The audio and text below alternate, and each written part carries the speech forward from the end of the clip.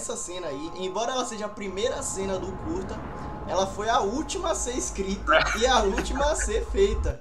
Entendeu? A gente já trabalhou Sound Effects justamente pensando nisso. Como a gente poderia trazer essa imersão ali, que ia acontecer alguma coisa na próxima cena, só que ainda não era isso, né? Na verdade, a maioria das músicas do curta, né? A gente se baseou em algumas músicas que já tinham aí durante a toda a história do, do Shadow que os fãs já conhecem, até pra galera, quando estivesse ouvindo ao curta, já pegar as referências, ter aquela ideia de nostalgia também. Foi uma parada muito, muito massa de, de ver a reação da galera quando assistiu esse trecho. Foi que quem conhecia as músicas originais falava, essa música soa muito como Broken, soa muito como Chosen One e tal. Então a gente vê aí que realmente o propósito foi atingido, né? E o texto mudou muito durante o, o, o, decorrer, né? A forma como a coisa foi conduzida, na verdade, ela foi muito natural, muito orgânica, né? Desde o momento ali onde eu recebi a primeira versão do roteiro e a gente começou a discutir, eh, não foi um trabalho onde o, o diretor do filme mala, entendeu? Ficasse ele me requisitando, dizendo, ó, oh, faça aí porque eu quero, não foi isso. Na verdade, eu assisti e dizia, eu quero gravar de novo. Uh, e às vezes. Era o contrário, né? Eu falava, velho, é. já tá bom, não precisa gravar de novo. Já tá bom, eu falava, não, eu quero gravar de novo. Eu Vice exatamente. Nessa cena foi algo bem interessante. A gente foi pensando assim, como é que a gente poderia trazer a imersão realmente para para esse personagem, né? Eu consegui unificar umas frequências como se fossem um, um som de baleia, né? Hum. Parece assim uma frequência para parecer como se fosse meio que um rugido, alguma fala do, do personagem, né? Foi em Angel Island que o professor. Eu acho que vai ser muito interessante para todos que ouvirem nos fones, né? Tem bastante detalhes em, durante todo o curta, mas nesse prólogo principalmente, porque a gente foi pontuando alguns detalhes, né? Justamente para tornar essa imersão e tornar realmente essa forma né, de conseguir identificar cada cena. É aquilo que se não tivesse a gente sentiria a falta. Esse foi o início do projeto Shadow. O professor me criou a partir Além de a gente não ter acesso às imagens quando está gravando ali, só tem o roteiro. Uh, tem uma, um outro fator importante de comentar aqui. Queria fazer essa reclamação, já que eu não fiz ela publicamente ainda. Rapaz, o senhor cara, João Felipe Santiago, ele, ele gosta de criar hype só que ele não quer criar o hype com o público, ele quer criar o hype com a equipe. Ele não quer dar spoiler pra equipe. E aí ele não conta o que vai acontecer, coisa que a gente só viu que ele lançou, cara. Esse movimento de câmera, né? Na hora que a gente gravou todos os takes, na verdade, exceto aqueles takes em primeira pessoa do final do curta, mas todos os outros takes foram gravados né, no tripé, estático. Ele me falou, velho, vamos fazer todos os takes com o máximo de informação possível. A gente gravou em 6K. Então a gente tinha qualidade para dar zoom. E a gente finalizou o material em 4, né? Para mandar pro Sim. pessoal começar o rotoscope. A gente garantiu uma coloração de cinema ao curta, né? Foi quase um tera de arquivo bruto, entende?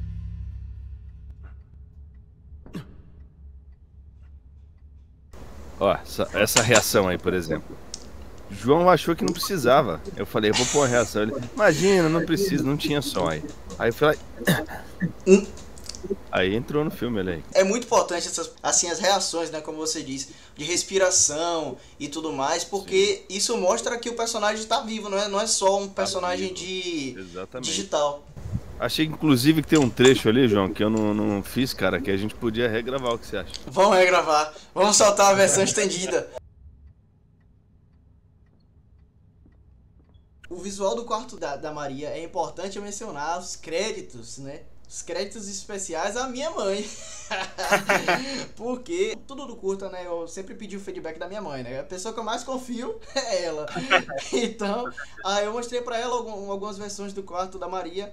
E aí ela, como mulher, né, e tudo mais, ela poderia ter uma visão que eu, como homem, não vou ter de estética de quarto feminino, né? Porque ela falou, rapaz, isso aí não tá legal não. Isso aí tá parecendo um quarto de menino.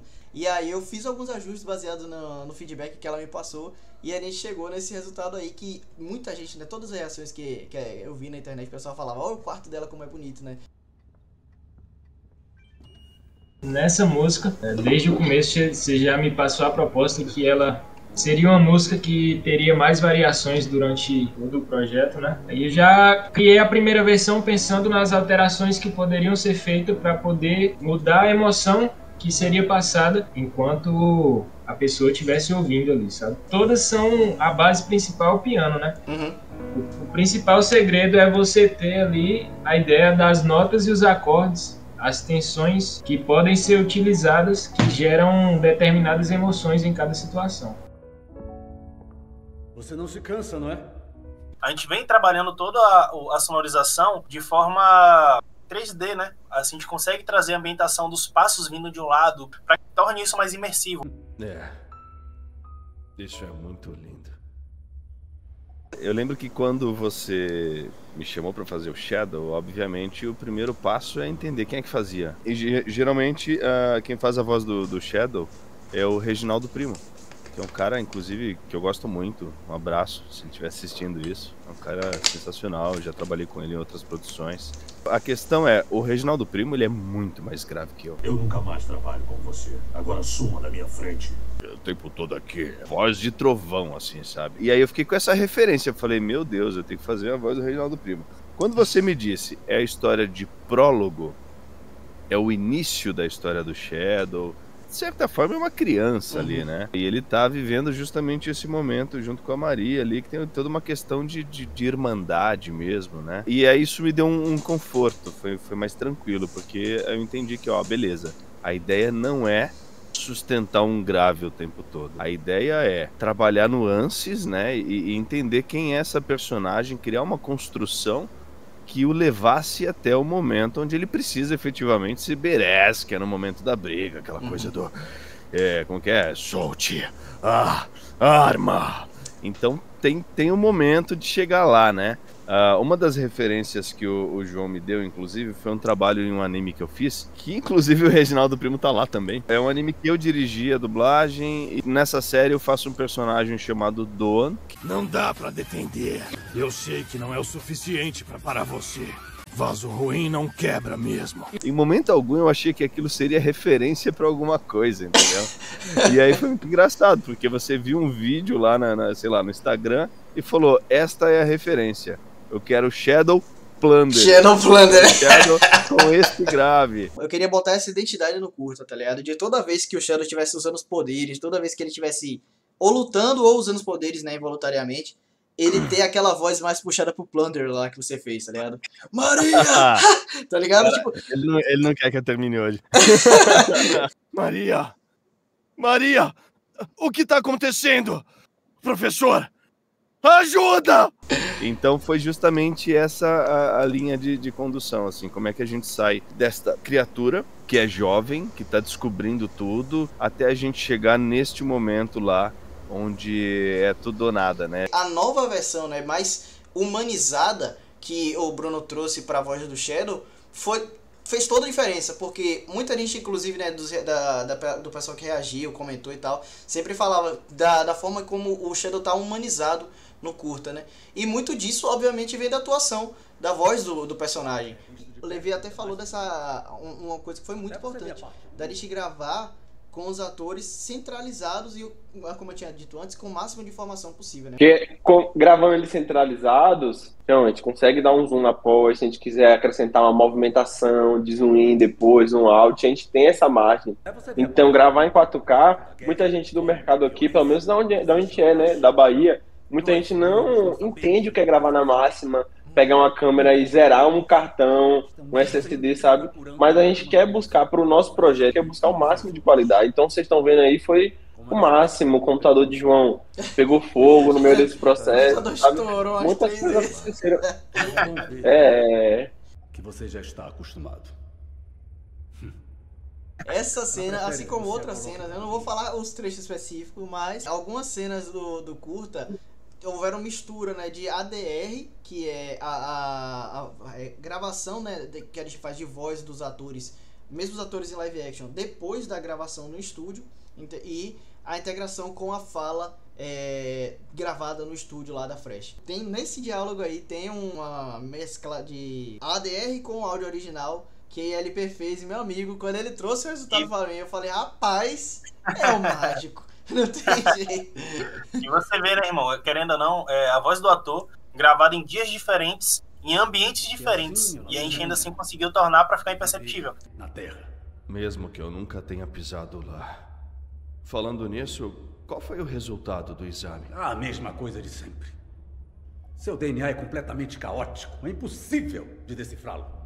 Nenhum progresso? Nada? Nada ainda. Nada.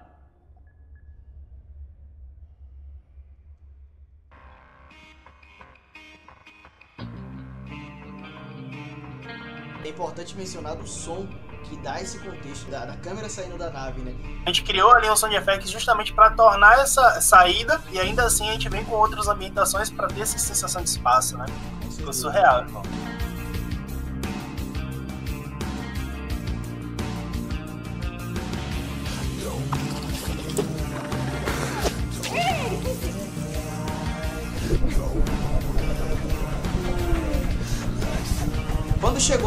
Eu fazer a pós, né, para fazer todo o CGI em volta daquilo, eu percebi, velho, do cabelo poderia estar tá voando. Só que eu pensei, não, vai ficar aí, ninguém vai perceber. não vai fazer falta. Aí a primeira pessoa. A primeira pessoa que assiste, que foi o Bruno, né? A, na, na, na exibição lá, vai lá e fala logo. Faltou o cabelo no ano. Falei, ah, beleza. E aí eu fiz.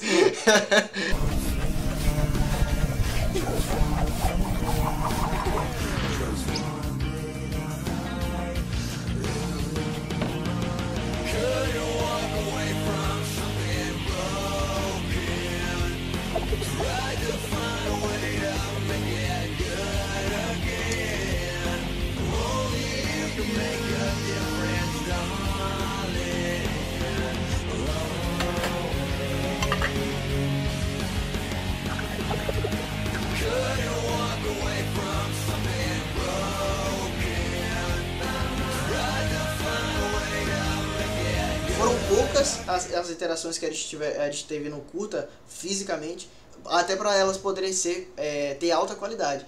Se a gente fosse se a gente fosse se propor fazer um, um, um é, muito contato físico, acaba que poderia ficar irreal, entendeu? E aí desconectar da, da imersão do filme, né?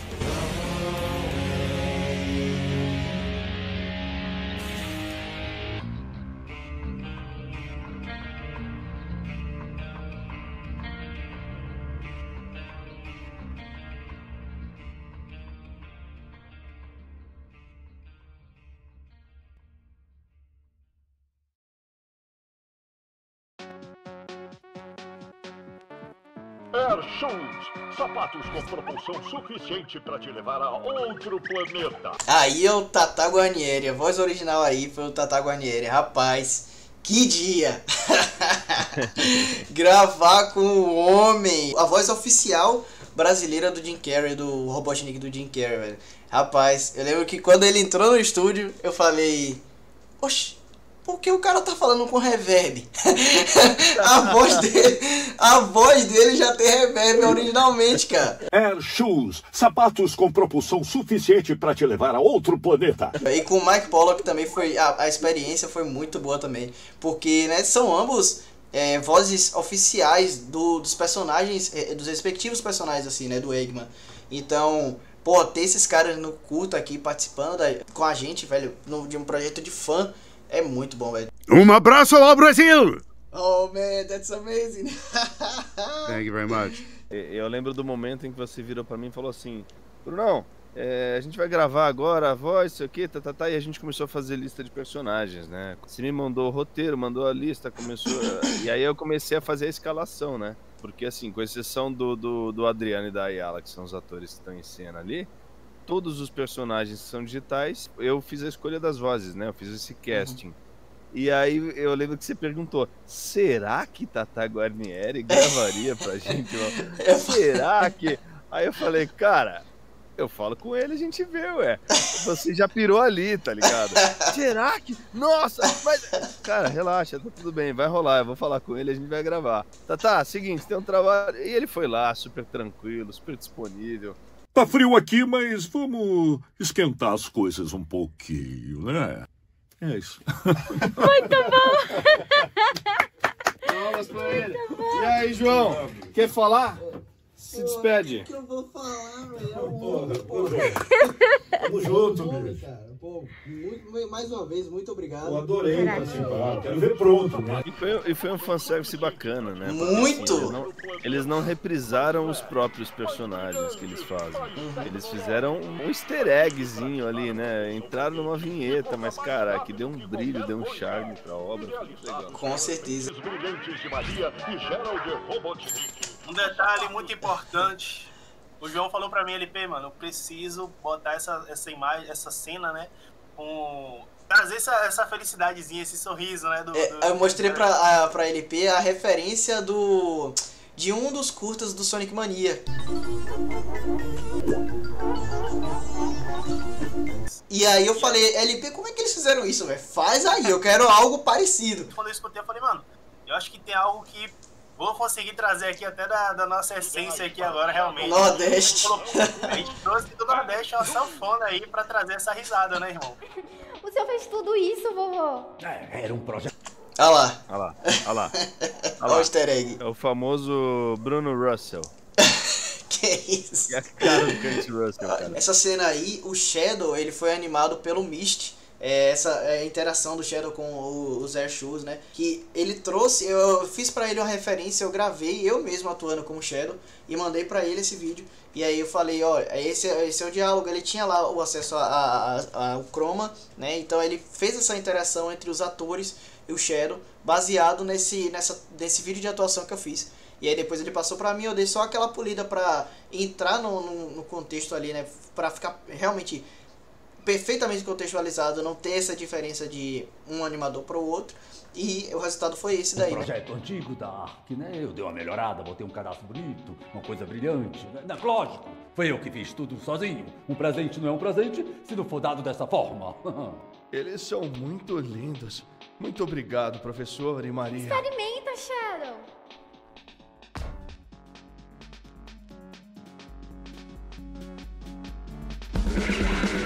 tava, eu tava fazendo aula de bateria com o Caio, né? E aí eu virei pra ele e, e eu lembro que você ficava falando assim, Bruninho, olha aqui! E me mandava um vídeo, não mostra pra ninguém.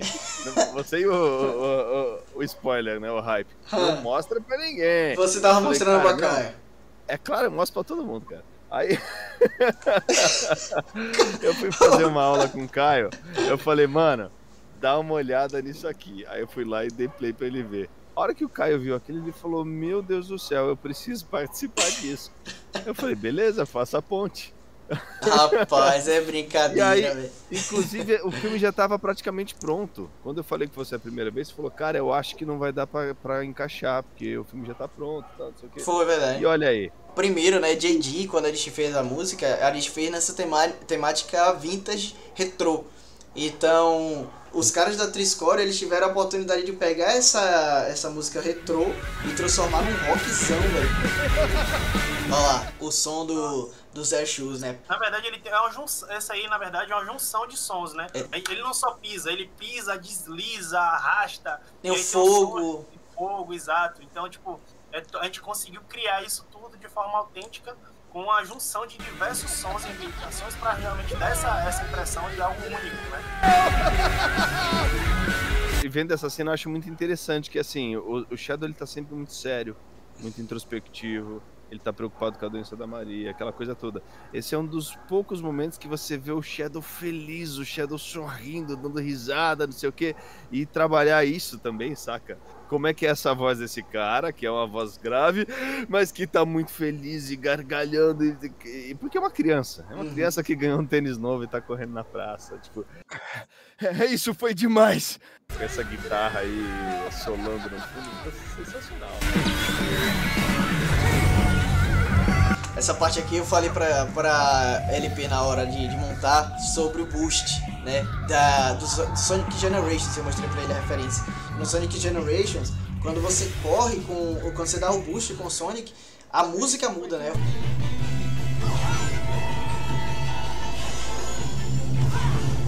E aí quando o Shadow ele dá esse boost também, você tem essa diferença não só nos sound effects, né, mas também nessa ambientação da música, né, para parecer que, a- que ele tá numa velocidade tão alta que até o som tá distorcido, né? É, isso foi demais.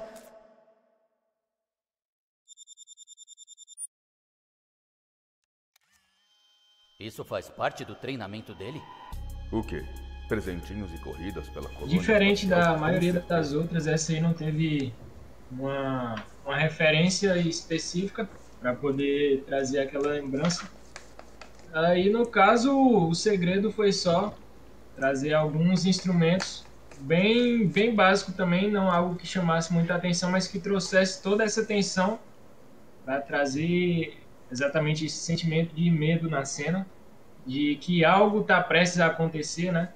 O segredo foi marcar esse baixo aí, fazendo bem a nota bem grave e um violino trazendo outra nota que tensiona com a do baixo.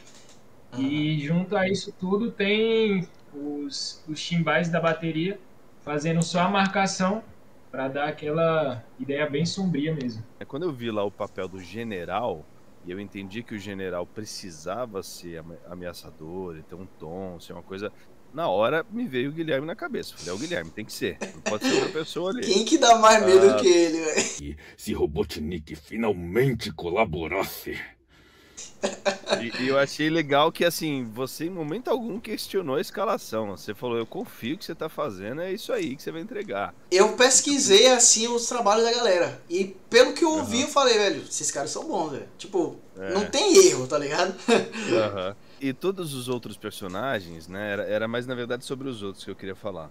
Quando a gente pensa um grupo de soldados, é, é meio natural, assim, tá? Até por uma questão cultural mesmo, dos filmes que a gente está acostumado a ver, dos desenhos. A gente sempre procura homens com vozes graves, né? Pra fazer personagem berez e tal. Só que eu quis fugir disso. Eu não sei se você Uhum. percebeu, mas a minha ideia foi: eu vou pegar um monte de, de jovens com vozes mais leves até pra contrastar. Por quê? Porque eu quero esse general muito berés. Uhum. E pro general ficar ame- ameaçador, ame- né? Eu preciso das outras vozes é, que são todos aqueles que são subservientes a ele, eles têm que ser mais leves. O que não quer dizer que eles não sejam sóbrios, percebe? Uhum. Eu tenho uma, um quadro em branco e eu preciso dar colorido para isso. Então eu não queria um monte de gente com voz parecida.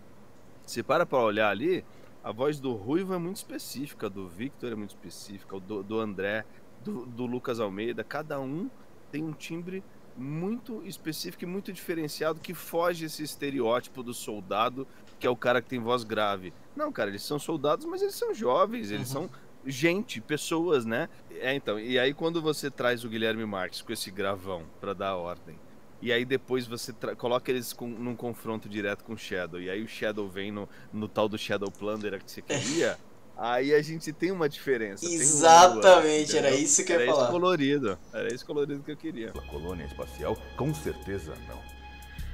Esse bicho deveria ser o maior defensor do país. Investe isso. Robotnik está transformando a forma de vida definitiva em um animal de estimação mimado. Dar a volta ao mundo. Como deve A ser parada sobre essa música que ela combina, né, perfeitamente. O JD fez ela sem ver o visual, mas ela combina perfeitamente com esse visual, né? Que ali é o lugar favorito deles. E essa música ela traz esse esse sentimento, né? Eu acho ela ela tem essa coisa dessa, dessa calmaria, dessa E uma melancolia, serena, né? Mas é, exato, tem melancolia. É uma música que ela, ela é um prelúdio daquilo que vai vir. Você sabe que ela é Exato, triste. exato. Ela antecipa o movimento de tristeza das Não pessoas. é, não é aquela música que você tem uma sensação plena de paz, sabe? E eu acho muito legal que- o quanto ela me remete à cor azul. Não sei porquê, mas pra mim essa música é azul. Verdade, velho, é verdade, a velho. terra, o reflexo da terra azul, né, na arque, a arque, o vestido da, tudo é muito azul, mas tem essas pinta, essas pitadas de vermelho do shadow e tal, que trazem justamente essa coisa do conflito. E essa cena é muito importante porque ela traz muito do emocional do Shadow, né? É uma das cenas que ele tá ali abrindo o, o coração dele, né? Mostrando as, os sentimentos dele, tanto pra Maria quanto pro público, né? Você tá a- se- sendo apresentado a essa versão do Shadow nesse primeiro diálogo é, deles dois, né? E aí é importante ter uma animação que passasse essa, essa emoção visualmente também. E isso foi graças à animação do Cameron, que participou aqui comigo né, nesse trecho. E a, a animação dele ficou muito boa, assim, você sente mesmo essa animação, a, a- a emoção do, do Shadow, né? Quando eu, eu dirigi essa, essa parte dele, eu falei pra ele, ó, eu preciso que ele esteja nessa cena reflexivo e assim, esse. Shadow, ele não tá bravo, não é aquele. Shadow que a gente já conhece, aquele Shadow brutamonte. Eu fui É criado um Shadow mais jovem, mas ele, ele é até um pouco mais fofinho e tudo mais. Só que a ainda assim ele tem aquela essência dele ser um cara isso. Então, vamos manter isso daí equilibrado. E aí o Cameron trouxe essa animação aí que a ficou exatamente no ponto que, eu- que eu precisava, né? O lance desse efeito é que ah, eu- ah, o que eu tinha em mente era o, o principal visual da Esmeralda Mestra, né? Se você, quando você assiste lá o Sonic 2, né, o filme, é, tem um momento lá que o, o Robotnik do Jim Carrey, ele consegue o poder e tal, e aí ele fica dentro daquele robozão e tudo mais. A ideia que eu tive, né, o conceito desse visual do controle do caos foi de mostrar como se o próprio Shadow virasse a Esmeralda Mestra, né? Então ele tá ali emanando energia do caos e tudo mais. A sensação que o espectador vê, porque assim, esse efeito visual nunca apareceu antes em mídia nenhuma original, oficial. Né, esse efeito de é, efeito visual do controle do caos. Normalmente é um, um frame negativo, um preto e branco, nunca foi separado a verde. Então a galera não sabia. Só que quem é fã já tinha deduzido. Mas o contexto da ambientação da cena, né? É, É, O olho dele parece a Esmeralda, inclusive, né? isso. O, o contexto da ambientação da cena já levou a galera para deduzir que seria o controle do caos, o poder da Esmeralda, ou e também muita, mesmo que a pessoa já soubesse, né, já conhecesse o personagem, então já imaginasse que seria esse poder, a galera tem a mesma dúvida, o mesmo sentimento do Shadow, né? Você tá falando como um fã do, do Shadow, um fã do, do universo do Sonic. Eu joguei muito Sonic quando era criança, mas eu não, não sou um conhecedor do universo do Sonic. Então, vendo como uma pessoa que tá vendo de fora, mas que tá analisando com o olhar de quem gosta de cinema, né? Cara, eu acabei de comentar ali atrás, nessa coisa do azul, azul, azul, azul, com pitadas de vermelho, e quando você traz esse verde, você quebra É. todo esse ambiente. Exato. saca? E o verde é muito remete a nova- medo também. Exato, você traz uma nova paleta de cores, Uhum. né? E que, cara, sensacional. Na questão de arte, é muito legal isso. Pequeno, grande detalhe. Essa foi a cena que, acho que de todas, a- não, acho que, acho que a, a única luta dela de, de competir assim, de emoção para trazer, foi entre essa e a cena final. Porque essa cena aí a gente conseguiu trazer uma imersão tremenda. A gente conseguiu trazer a característica dos efeitos é, de forma surreal, autêntica e surreal. Se você for ver os detalhes do, dos efeitos na música, na, no próprio, na voz do Shadow, é, em todos os detalhes, né? Quando ele tá correndo pelo corredor, isso ficou absurdo.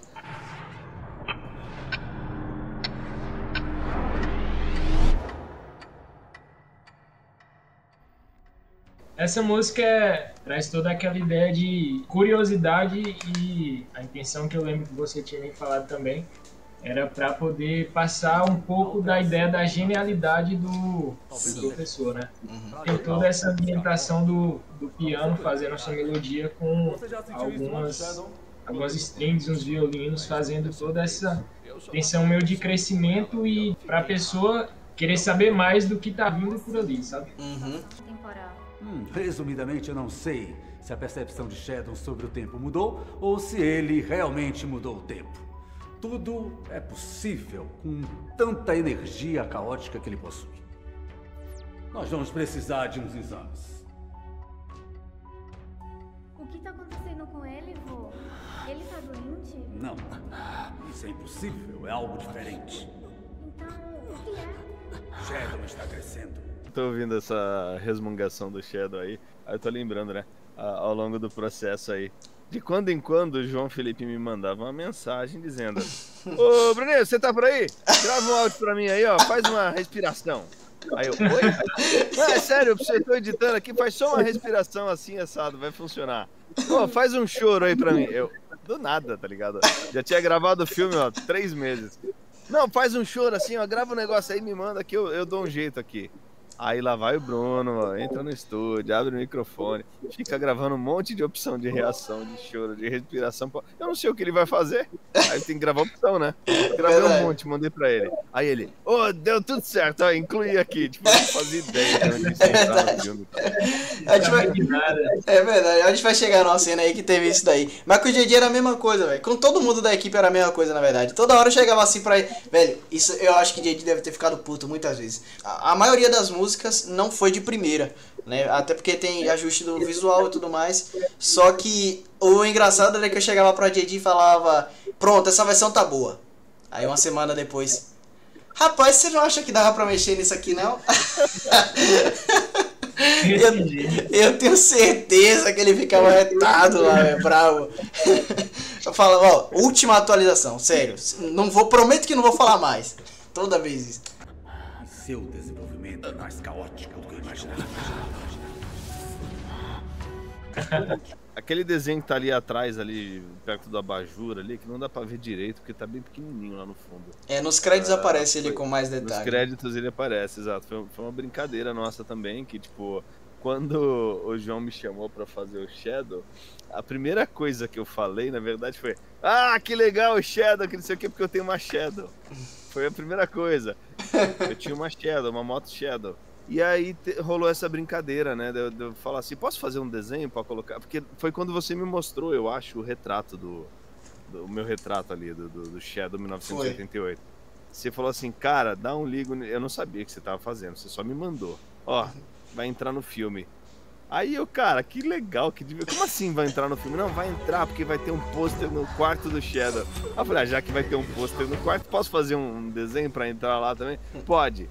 Aí eu fui lá e fiz essa brincadeira, que é o Shadow andando de Shadow, porque o Shadow anda de moto no jogo, né? Uhum. E, e- e- e também rolou essa, essa brincadeira de tipo, pô, eu gosto de moto custom, e quando você me chamou, eu fui pesquisar, vi que ele andava de moto e tal. Então foi essa. essa Grande coincidência, né? Coincidências atrás de É. coincidências. É meio um Ouroboros, assim, sabe? Tipo, o Shadow andando de Shadow.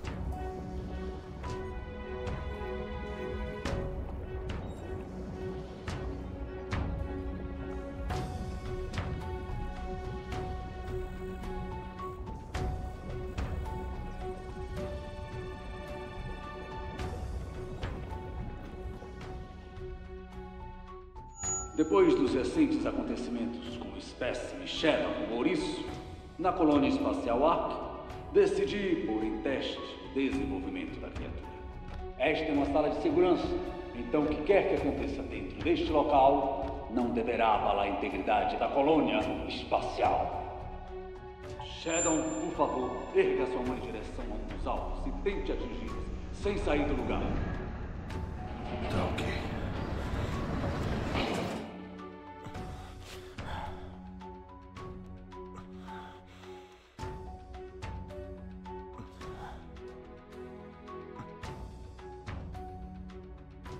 E aí só mais um comentário em relação às respirações, Uhum. reações, né? Aí tá aí outro trecho que não tinha nada, né? É verdade. Aí eu é falei, verdade. não, eu vou preencher, solta aí que eu vou gravando. Aí você, não, não precisa, solta aí que eu vou gravando. Se não, se não ficar legal, você corta. foi- é, exato, se não funcionar, você tira. Aí a gente saiu É. respirando ali e ficou. Muito bom, muito bom.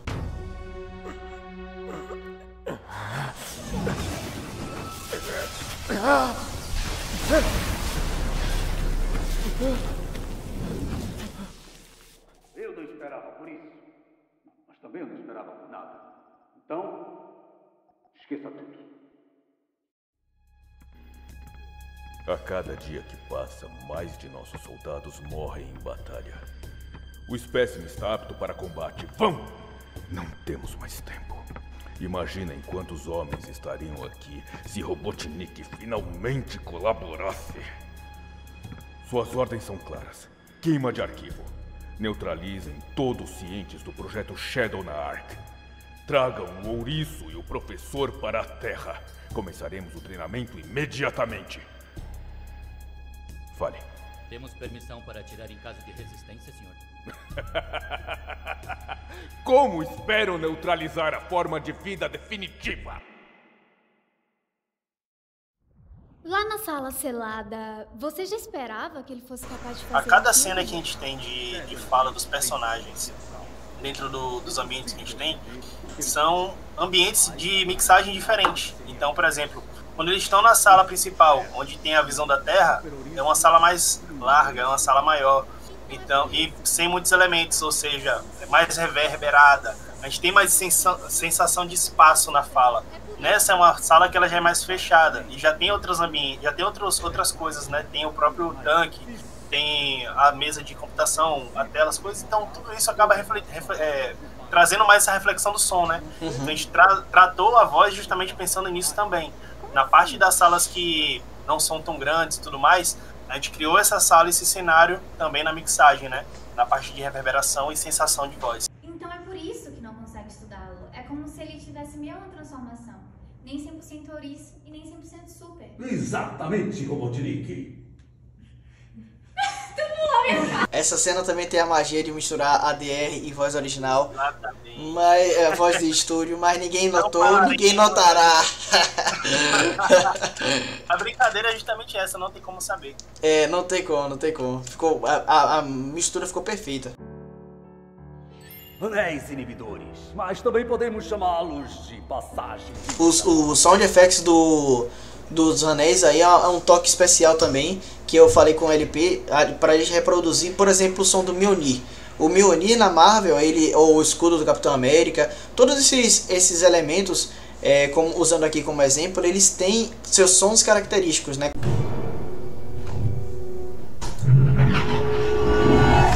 Os Anéis Inibidores do Shadow, eu quis trazer essa mesma ideia, né? De trazer um som específico ali, um som meio de brilho, um som também inspirado nesses sons dos jogos, mas sem ficar repetindo toda hora aquele mesmo som, para dar esse contexto, né? Quando ele mexe o anel, quando ele é, coloca nos pulsos, você ouve aquele som específico do anel inibidor. Obrigado, professor. Mais tarde eu vou colher uma amostra do DNA para observar o progresso.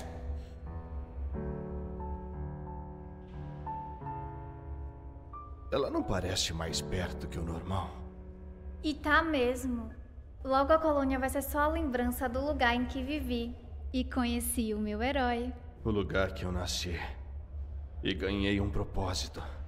Atenção, a segurança da colônia espacial Ark foi comprometida. Atenção, a segurança da colônia espacial Ark foi comprometida. Evacuação imediata. É necessária a evacuação imediata. Sabia que ia encontrar vocês aqui? Eles estão atrás de você, Shadow. Vão para a sala de ejeção do corredor E1.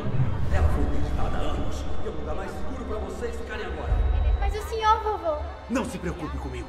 Eu ficarei bem. Eu só vou passar no laboratório para salvar alguns arquivos. Eu alcanço vocês. Agora vamos, vamos, Professor vamos. Gerald Robotnik. Temos ordens para levar você e a arma Shadow Ouriço em custódia. Como assim?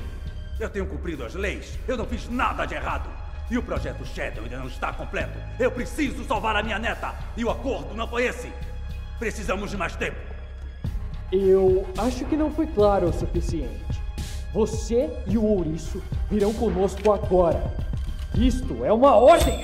Até uma pergunta, Didi. O que, que, que, te deu na, na cabeça pra botar essa música aí? Um trap do nada, velho. Porque essa daí não foi eu que pedi, velho. essa daí foi da cabeça dele, a genialidade dele. Rapaz, essa, essa parte eu já tinha visto a cena, né? Foi, essa DC visual antes. Tava com o violino fazendo a, a atenção, mas precisava de alguma coisa que desse mais essa crescente antes de, de chegar no rock. Uhum. Aí eu pensei, vou jogar uma parada que é do, da minha onda, né? é sua área de, é sua zona de conforto. é minha zona de conforto. Aí eu fiz, fiz essa, essa bateria mais na pegada trap. E com essa caixa numa pegada meio videogame também, que é uma parada meio tecnológica. Uhum. Não é aquele aquela caixa convencional, sabe?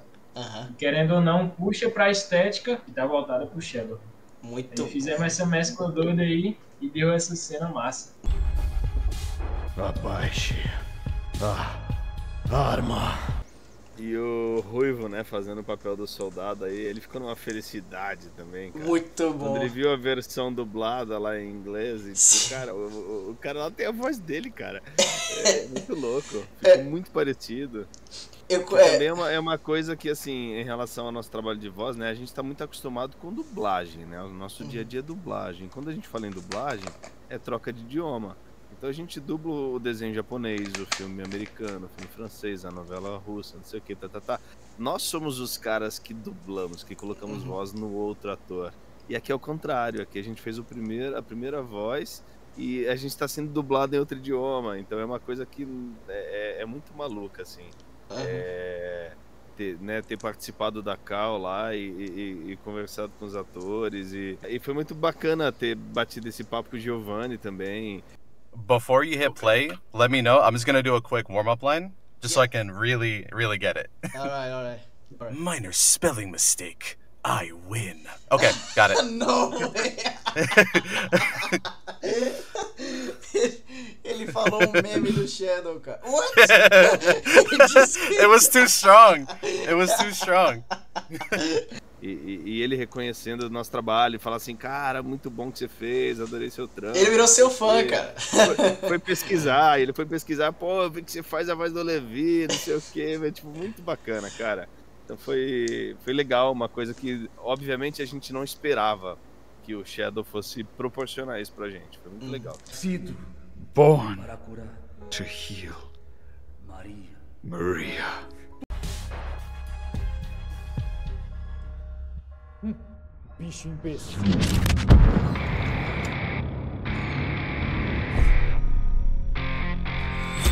Hã? Onde é que ele tá? Eu acho que não fui claro o suficiente. Vamos nele!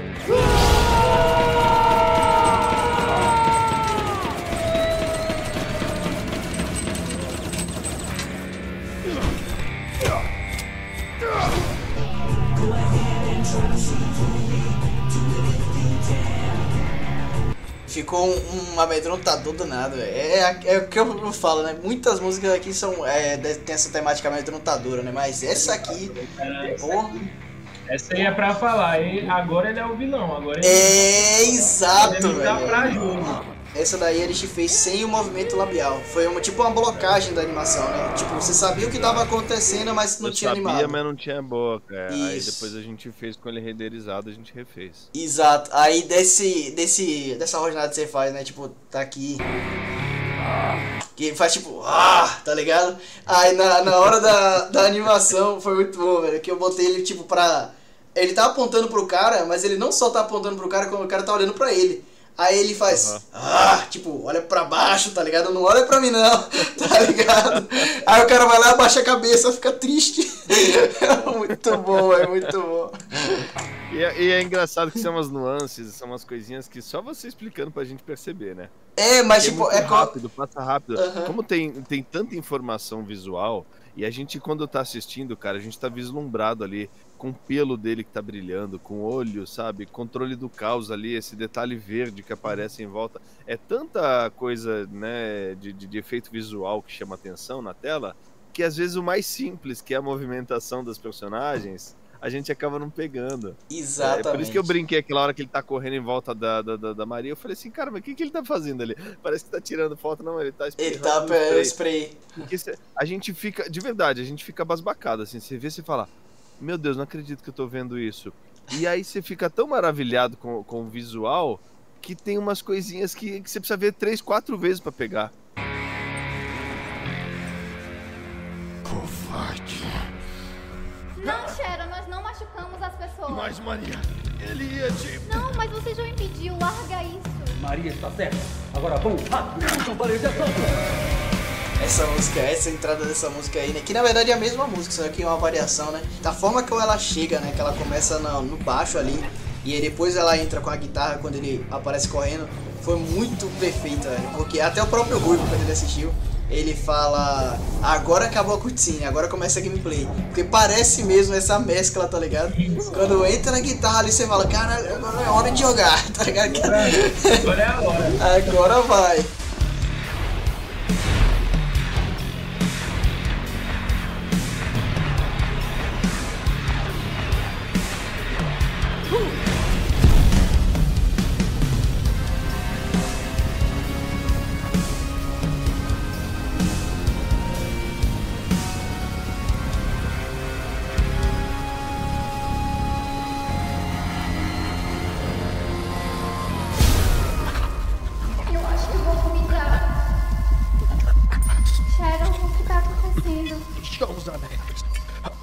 Voz do Shadow já tá muito mais grave, não grave, né? Mas com aquele drive, né?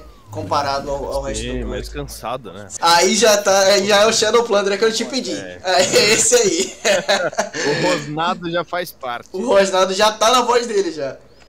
É, nessa cena aí o João falou, LP, basicamente a gente vai ter que mostrar que os soldados estão vindo e a gente não vai ter essa cena. É uma tela preta, realmente. Não vai. É, até por causa, como eu falei, do visual, né? Eu não quero focar no soldado, não quero mostrar eles andando. Porque o CGI deles não vai ficar perfeito.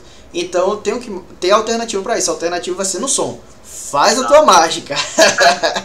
e aí eu pensando como a gente poderia fazer isso. Então foi fácil. A gente conseguiu criar esse mapa somente com o pane, né? A gente trouxe eles da direita para a esquerda. Então ficou realmente isso bem especificado que eles estavam chegando, né?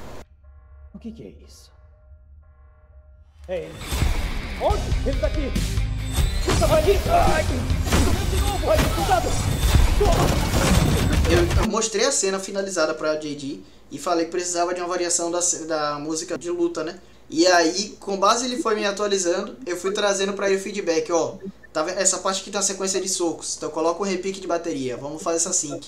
E aí ele mesmo depois foi trazendo algumas syncs, né? De tipo, o Shadow dá um chute no cara, o Shadow dá um golpe no cara, então tem um prato de bateria e tudo mais. Isso daí é uma parada que, tipo, pra quem tá assistindo, às vezes o cara não percebe. Mas o cara sente quando ele sente a intensidade do golpe, velho. Tá ligado? Porrada.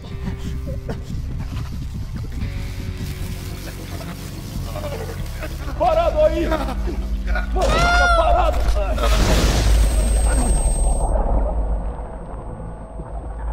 Essa foi a única cena do curto inteiro que a gente gravou sem estar estático, sem a câmera estar no tripé.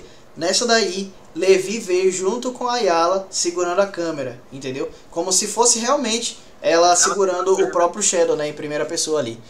Então, essa daí foi a única é, cena que a gente teve que fazer o tracking do estúdio, tudo mais, a gente preparou tudo certinho para ter esse controle na pós, mas todas as outras foram feitas de tripé, né?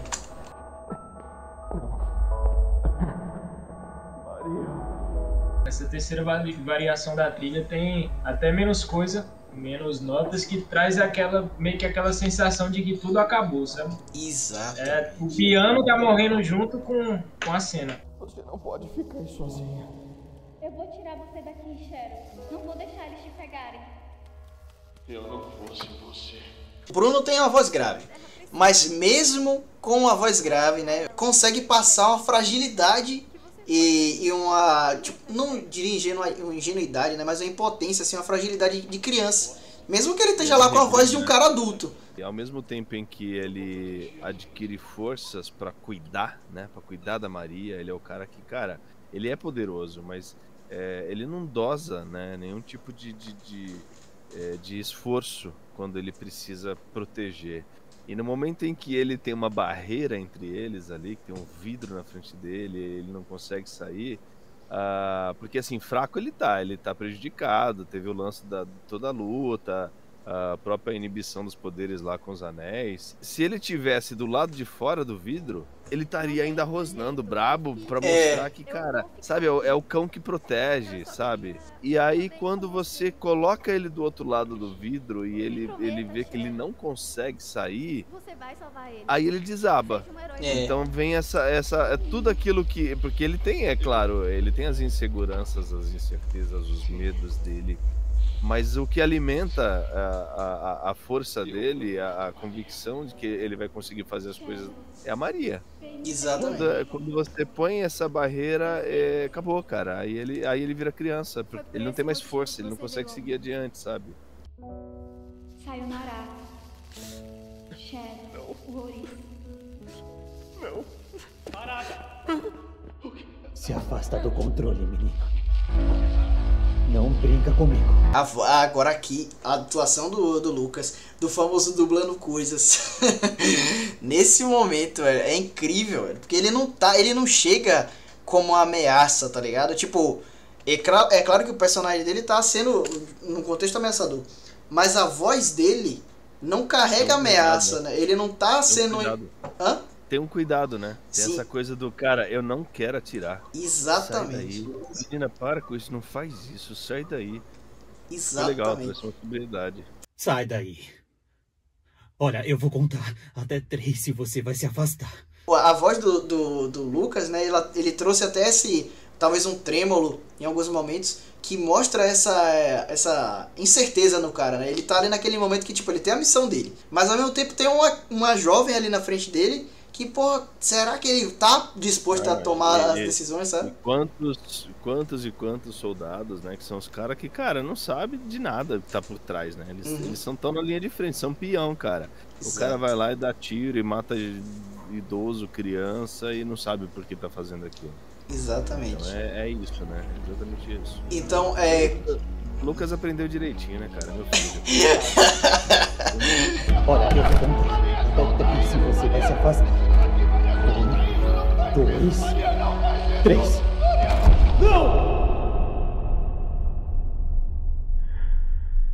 Silêncio fala muito nessas horas. E esse luto, cara, é o sentimento de impotência. É, Congelou. Porque é, Exato. é muito louco, porque quando o tempo para pra ele, mas ele tá com poder, para num outro lugar, distorce, tem o verde, aquela coisa toda.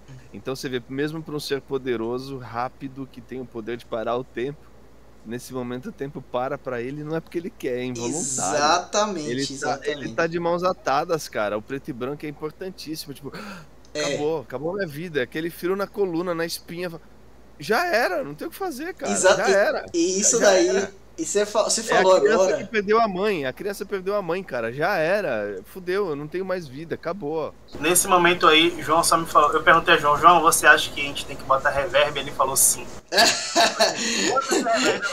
Cena, João? Ele falou sim.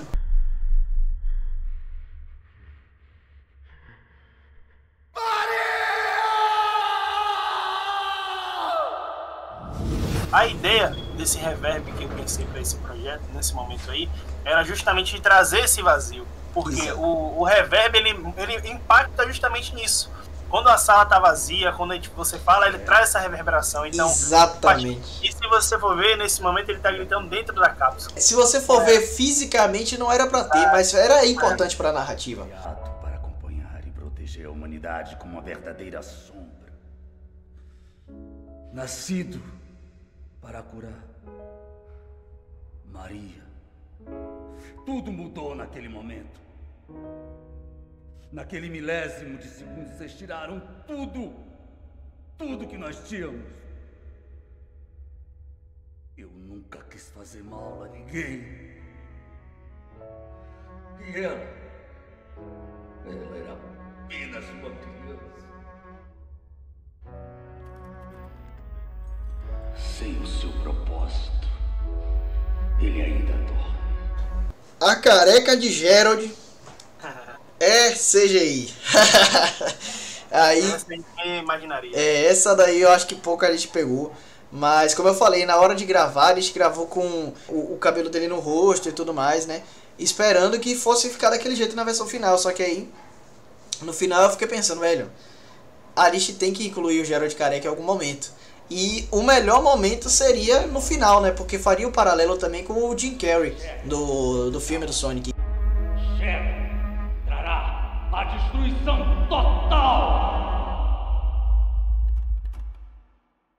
Pra você que tá aí, ó, acompanhando, que gostou do projeto Shadow no Brasil e no mundo, cara, eu acho que passou da hora já do, do João Felipe lançar uma campanha aí de financiamento coletivo para levantar a grana para fazer o próximo filme. Se vocês quiserem, olha aí, tô lançando aqui hein, a ideia para a campanha. Se vocês quiserem, isso vai acontecer. Projeto Shadow 2. A história do Shadow na Terra.